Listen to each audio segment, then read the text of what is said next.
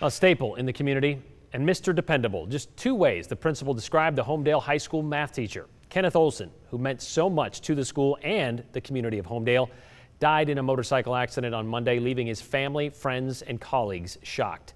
Joey Prechtel live in Homedale, and he spoke with the principal to find out how the school is reacting to this loss. Joey?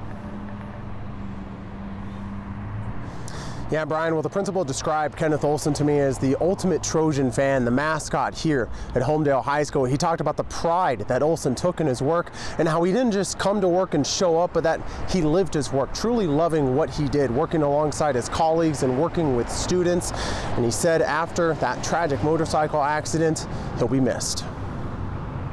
He's just a staple in our community and our staff. A staple for the past 21 years. His commitment was unmatched. Kenneth Olsen, to students and his colleagues, was Mr. Homedale. He was a, a Homedale grad, a Homedale teacher.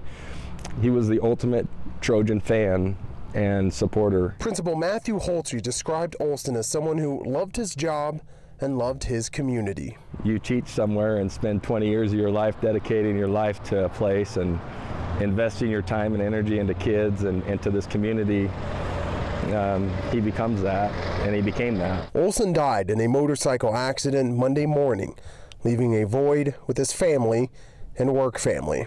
We'll have to come together and we're going to have to do it as a family like we always do. And um, we'll, we'll do the best we can. Holtry says Olsen would try to ride his bike any day he could.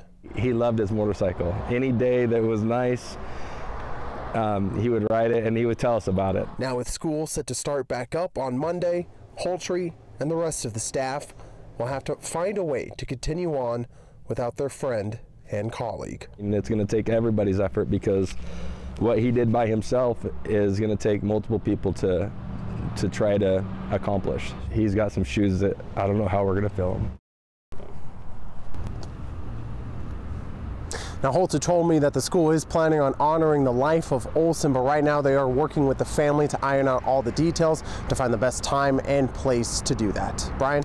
I bet you they could use that gym right behind you there, Joey, because I can imagine the whole town and community of Homedale would want to show up for that. Thank you, Joey.